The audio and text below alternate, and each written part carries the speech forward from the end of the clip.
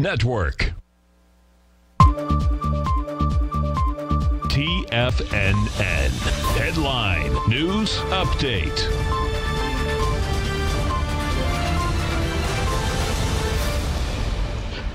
Hi everyone, Basil Chapman here. This is the Tiger Technicians Hour pre. Uh, this is the TFNN noontime update, and then we go to the Tiger Technicians Hour, my show for the next hour from 12 to 1. Let's go through the numbers. Dow's up 235 at 26,260. What is happening? You can see there's a fight between these two patterns, the arch formation and the uh, trend line, the declining trend line. I call the falling X because it's a serious resistance line. We're just sneaking above it right now. Um, all I can say is that if the Dow starts to trade at 26,330, I think we'll be on our way towards testing uh, the high that was made of 26,611 on the 16th. This is a real fight going on here because the technicals are not great, and you've got a real mixed picture in the Dow itself. So this is very important, and the key support now will be at the 25,900 level. We're looking, you see the H pattern that I drew in there? That's what we're looking at. Let's see if we can break above it. That's going to be very important.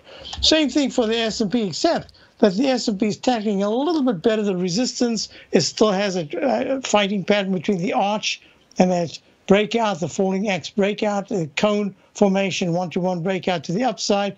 It's at 31.48 up 31 needs to get to, I would say, somewhere around 31.68.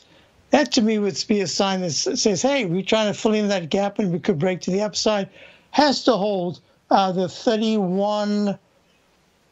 20 area, 31, no, I'd say 31.15. All right, going to the uh, QQQ NDX 100, breakout all-time high, 250.27 wasn't acting all that well for a few days. Now it's breaking out. Apple's helping a lot. It's up 3.52. The IWM, which was lagging, is now um, a little bit of a leader. It's up 0.87%, up $1.25 at 143.64. It really needs to go quite a bit higher. 140, 148 really to say that it has the strength to even think of being a leader. Um, we're looking at the key support will be at the 139 level. Now, I want to show you gold. This is really important. Gold, gold is having a beautiful move up 15 at 1782 as the dollar pulls back. This is really a breakout from the falling X one to one extension.